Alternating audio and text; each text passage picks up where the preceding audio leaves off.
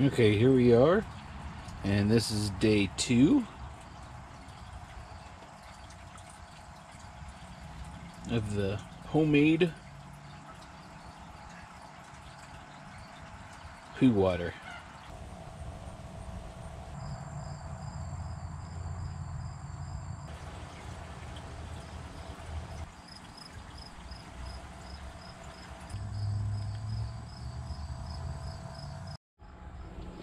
Okay, so this is what it's like after one week. And like I said, this isn't, I mean, it's really gotten a lot more in there. I think this is working out pretty good. Um, just with a bubbler and those, the homemade mixture. I mean, the other side, you can't even tell I took any out of it. It is doing great. I actually need to take more out and actually harvest it to feed. Still doing good over here. All right, that was just a quickie because I'm going to put together a video on whether the homemade stuff works or not.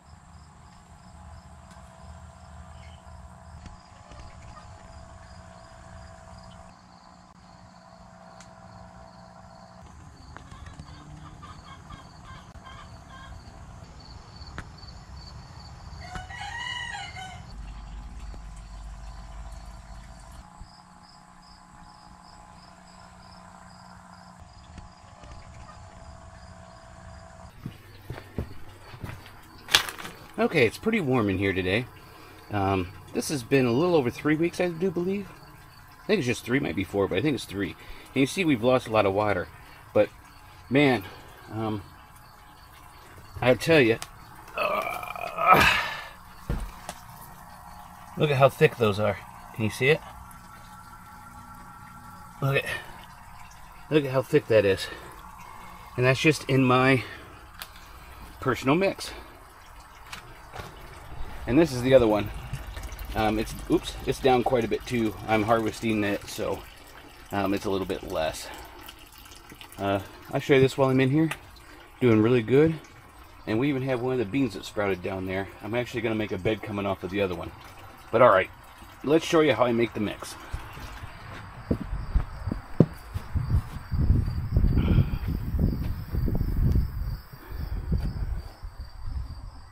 Okay, so I'm going to make it a little bit different this time, just because I had them. Um, last time I took compost um, that had rabbit poop in it. This time we've got, and this one is the chick poop that was in the brooder and sawdust. We're going to add some more chicken poop that's fresh out of the um, coop, and then rabbit poop. Manure, whatever you want to call it. So I just dump them all in. A little dusty, don't breathe that in.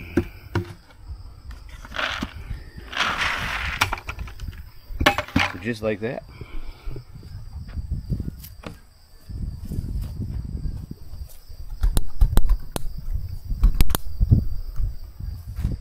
And I like using this, the jet, because it actually mixes things up a little bit better.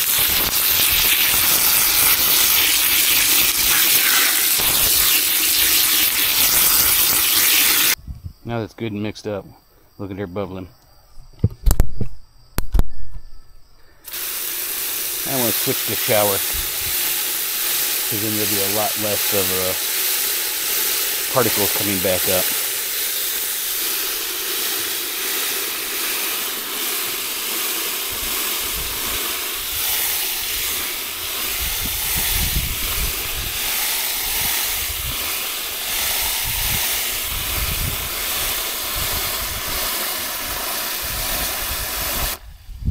And that's probably good.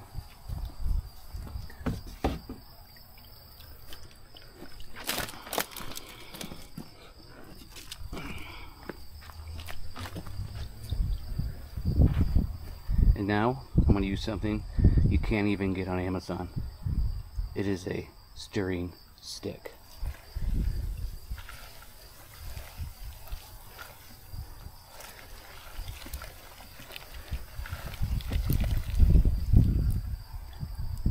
We want to file this for later. And look, there is actually bugs already in that. It'll probably kill most of them, but that's okay. They can become fodder.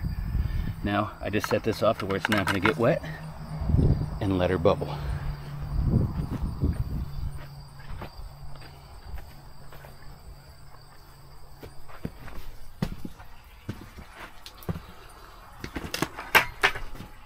For me right now, that's in my messy greenhouse. All right. I hope you learned something. Hope this helped out a little bit. Hope maybe you start your own stuff. Get your own little bit of fodder going. And hopefully, um, I'll probably clean most of this one out when it comes.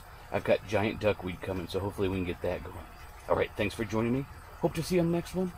And remember, stay alive out there and keep on surviving.